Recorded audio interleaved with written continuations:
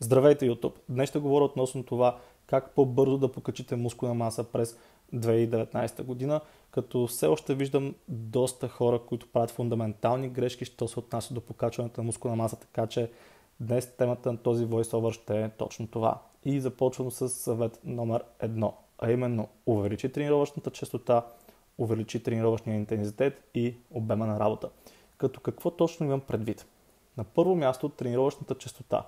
Тук нямам предвид да започнете да тренирате по-често в залата, а да тренирате по-често дадена мускулна група, на която искате да наблегнете. Като имайте предвид, че всяка мускулна група за оптимални резултати трябва да тренирате поне два пъти седмично. И вече на мускулните групи, на които искате да наблегнете, то може да ги тренирате 3, 4, дори 5 пъти седмично. Като по този начин ще вдигнете мускулно-протеиновия синтез, ще стимулирате по-често мускулната група и това ще доведе до повече покачване на мускулната маса. Като естествено много важно е да внимавате с тренировъчният обем. Като тренировъчният обем, какво представлява това? Тренировъчният обем може да се вдигне от покачване на сериите, които изпълняваме за мускулна група. И само вдигайки тренировъчната частота, всъщност ние ще вдигнем и тренировъчният обем. Защо? Защото да речем, например, правите тренировка само за гърди. Например, започвате само с лежанка, след това правите, примерно, лежанка с дъмбел, след това правите, примерно, кофички, флайс и така нататък. С всяко следващо упражнение тази ваша мускулна група, а именно гърдите, ще е все по-уморена и по-уморена. По този начин всъщност ще вдигате все по-малко килограми и по-малко килограми и така тренировъчният обем да речем е хикс. Но ако пръснете няколко различни упражнения в различни дни. Например, лежанка и дъмбъл бенч прес в ден първи и примерно а, кофички с флайс в ден втори, а, то тогава по този начин ще имате по-качествена тренировка, т.е. по-качествено ще изпълнявате самите движения, т.е. кофичките и флайса ще, се, ще са по-качествено изпълнени като повторения и отделно може да натоварите и повече килограми като по този начин вдигате и тренировъчният обем, чрез нали, покачване на килограмите, а, чрез, също така чрез подобряване на техниката, но също така може да се позволите да изпълнявате и повече серии, тъй като вашите мускули няма да са толкова уморени от упражненията преди това. Така че тренировъчният обем като цяло той се влияе от честотата на трениране на мускулна група и от интензитета и от сериите, които изпълнявате. И като казах интензитет, това, което трябва да направите е да се постараете да вдигате по-тежки, т.е. по-големи тежести. Като под интензитет много хора разбират, примерно, да тренират с по-къси почивки. Не, точно обратното. Като увеличим интензитета, ние се нуждаем от по-дълги почивки, за да може да вдигнем по-тежки килограми. Тоест, ако правим, примерно, лежанка с, а, примерно да речем, нашата единица на лежанката е 100 кг, ако вдигаме с 90-95 кг, това е висок интензитет спрямо нашия One Rep Max на лежанката. Ако вдигаме с примерно 50 кг на лежанката, то тогава работим с нисък интензитет. Като трябва да работим с висок интензитет, тъй като по този начин а, подсигуряваме доста голяма активация на мускулни фибри, които от своя страна а, подсигуряват нали, по-голям а, мускулен растеж и по-бърз мускулен растеж. Така че съвет номер едно е по-голяма тренировъчна частота, по-голям тренировъчен, тренировъчен интензитет, т.е. да тренираме по-тежко и да увеличим обема на работа, който пак казвам е съвкупност от всичко това. Увеличаване на тренировъчната частота, увеличаване на сериите и увеличаване на товара. Тъй като колкото повече общо работа правим, толкова по-голям стимул имаме за мускулен растеж. И това е съвет номер едно. Обема наистина е царя, така да се каже, на мускулният растеж и трябва да се стараем постепенно да увеличаваме този обем, което ме подсеща за съвет номер 2, а именно води си дневник. В смисъл, това сме го казвали толкова много пъти, да си, води, да си водите дневник е нещо много важно, нещо много фундаментално за това, ако искате да постигнете добри резултати. И въпреки това, ние всяка седмица се чуваме с наистина много хора. С поне двама или трима човека на ден се чуваме и почти никой не си води тренировъчен дневник. Никой не записва това откъде е минал, къде иска да стигне. А, а това наистина е важно. Като защо ни е нужно да, да имаме такъв тренировъчен дневник? Ами, както вече ви казах, обема е може би най-важното нещо за покачване на мускулна маса. И ако ние не си водим тренировъчен дневник, то няма как да сме сигурни, че ние сме увеличили обема. Много хора казват, е, аз ги помня. да, обаче, помните ли какво сте правили, примерно, при 4-5 месеца, какво сте правили при 2-3 тренировки на абсолютно всяко едно упражнение? Най-вероятно не. И повечето хора това, което правят е отиват в залата просто да се напомпят. Нямат никаква, никакъв план, нямат никакъв как да кажа, критерии за това дали са станали по-силни, дали са станали по-издържливи, дали са увеличили обема на работа. Като водейки си дневник, всъщност може да вкараме едно нещо, което много помага за прогресив overload. Като прогресив overload е нещото, което е наистина задължително, за да ставаме по-силни и по-големи, т.е. да покачваме мускулна маса. Като водейки си дневник, ние може да вкараме периодизация. Като какво представлява периодизацията? Периодизацията представлява наистина да имаме период, в който а, да се фокусираме върху различни цели, различни таргети. Като, например, може да вкараме блокова периодизация. Като блоковата периодизация ще рече примерно 1, 2 или дори 3 а, микроцикъла, да се фокусираме върху по-висок брой повторения с, да речем, по-малко серии. Тоест по-малко серии, по-висок брой повторения, т.е. повече напомпане, повече натрупване на метаболити. След това да имаме, примерно, втори блок, друг блок от, да речем, още няколко микроцикъла и там да се фокусираме върху това да вдигаме по-тежки килограми с повече, с повече серии. И така ще имаме блок, в който да работим върху повторенията, върху техниката на изпълнение, върху експлозивността и така ще има и блок, в който ще работим върху това да вдигаме просто по тежко, да не се фокусираме чак толкова много върху техниката, а да се фокусираме главно върху това да ставаме по-силни, да не се фокусираме върху напомпването и така нататък. Така че, имайки такива блокове, е много важно да имаме и дневник, за да може да следим, да сравняваме спрямо този блок, дали сме станали по-силни от предишния същия такъв блок. Тоест, примерно да речем, имаме блок за сила, след това имаме блок за повече повторение на помпване. След това се връщаме отново на блок за сила и трябва да сравним между блока за сила 2 и блока за сила 1, дали ние сме станали по-добре, по-добри. Това няма как да се случи без дневник. Така че това наистина е фундаментално. Имайте тренировачен дневник, като това е само един вид за периодизация. Лично аз това, което правя DOP периодизацията, това ще рече, че нямам отделни блокове за това кога да вдигам тежко и кога да вдигам леко, а го правя в рамките на а, една седмица в рамките на един същи мезоцикъл. Така че има доста варианти за това как да изпълнявате а, блоковата периодизация, като DOP, доколкото съм се запознал с научната литература по въпроса, е може би най-добрият метод за момента, като това не означава да изключвате блоковата периодизация напълно.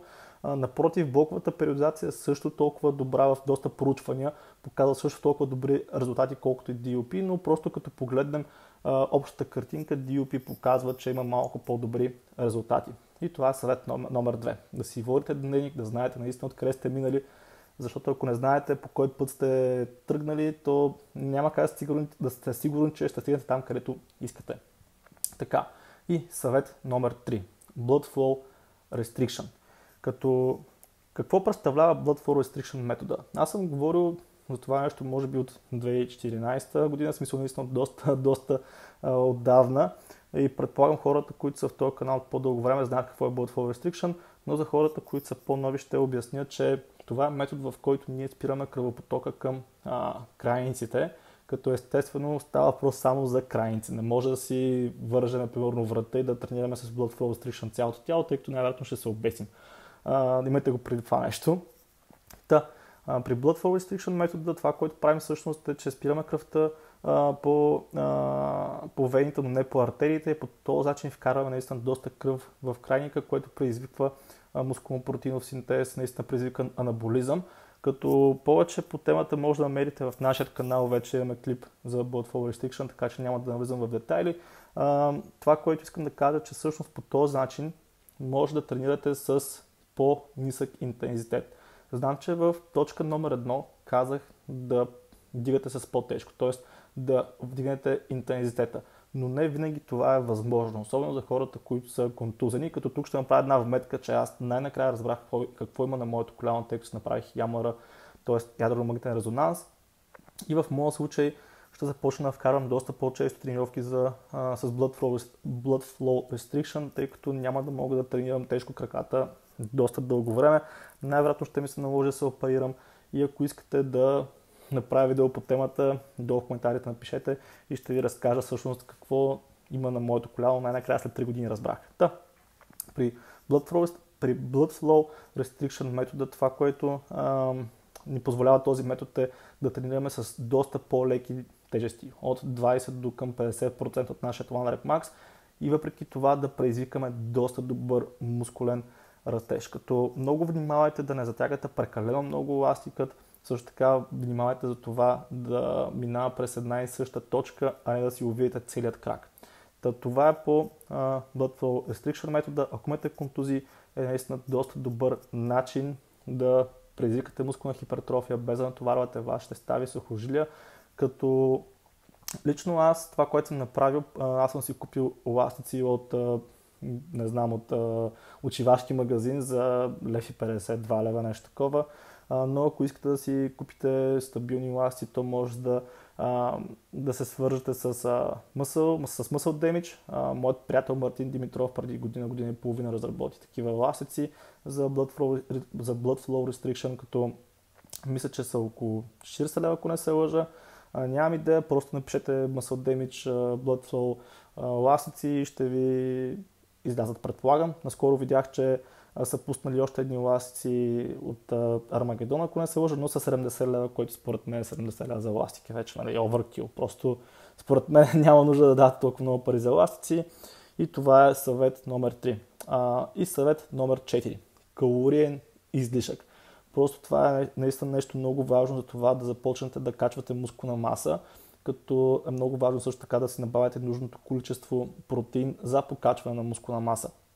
Но има нещо много важно тук и то именно не прекалявайте с калорийния излишък, тъй като ако се сещате още преди, може би, две години или година и половина, направих клипче относно моят Dirty Bulk и тогава още ви казах, че не трябва да се опитвате да force feedвате gains, т.е. тялото си има лимит за това колко мускулна маса може да покачи на месец, на, на година и ядейки повече храна, няма да покачите повече мускулна маса, а всъщност ще станете още по-дебели. И това, което се случи е, че после трябва да чистите тези подкожни мазни, които сте качили и има доста голяма вероятност да изгубите а, мускулната маса, която сте качили, докато, докато чистите тези мазни. Така че внимавайте с покачването на, на мазнините. А, трябва да сте в много лек калории излишък, за да качате мускулна маса, така че не се оправдавайте с това, че сте в блок да ядете всякакви бокуци и да качвате излишни килограми. А, това наистина е много, много важно нещо, като може дори в началото да качвате мускулна маса в калориен дефицит, особено ако сте начинаещи. При по-напреднали също е възможно, но доста по-трудно и се изискват доста повече задълбочени знания относно това как да се случи тази телесна рекомпозиция. Та, калориен излишък е нещо, което за повечето от вас е задължително, но масовата грешка, която забелязваме, че повечето хора в този бълг период всъщност стават прекалено дебели, а не качват мускулна маса, така че имайте го предвид това нещо. И това са четирите съвета за, това са четирите мои съвета за покачване на мускулна маса през 2019 година, т.е. по-бързо да покачите мускулна маса през 2019 година, тъй като съм сигурен, че доста от вас а, не прилагат тези точки до момента, тъй като се чува наистина с доста хора на седмична база и виждаме как все още хора, все още доста хора се лутат и си информацията и не могат да намерят правилният път. А, като предполагам, забелязахте, че не съм говорил за добавки в този клип, защото добавките просто не, нямат да ви помогнат да качите по-бързо мускулна маса. Една от добавките, може би единствената добавка, която може да ви помогне за покачване на мускулна маса е креатин монохидрат и струва около 20 лева. Така че не съм обърнал голямо внимание на добавките, тъй като те просто са много далеч от това да са фундаменталната, да са основата на това да качвате по-бързо мускулна маса. Но все пак, ако искате да подсигурите едни определени проценти и малко по-бързо покачване на мускулна маса, то може да се вземете креатин монохидрат, една от най-ефтините, най-поручваните добавки, като е напълно безопасна за дългосрочна употреба и няма да имате най-вероятно никакви проблеми. Та, а, всъщност а, има доста проучвания по темата, имаме, имаме и статия за креатина. а, на нашия сайт, така че долу в описанието може да намерите линк към нашия сайт и там може да намерите статия за креатина, която съм написал може при две години а, и е доста, доста подробна, доста описваща, така че ако имате въпроси относно креатина, просто влезте в тази статия и я прочетете, там ще научите наистина всичко необходимо за креатина. Та, това бяха съветите ми за бързо покачване на мускулна маса през 2019 година. А, надявам се клипа да ви е бил полезен, ако е така, дайте палец нагоре, абонирайте се за канала и долу в коментарите напишете какво още искате да научите. И това беше от мен. До скоро!